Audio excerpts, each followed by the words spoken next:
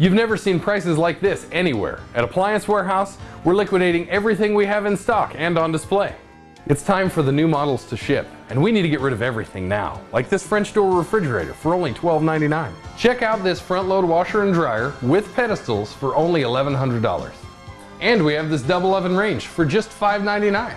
Come see us on Blue Lakes next to Idaho Joe's. Appliance Warehouse. Best price, best service. No question about it.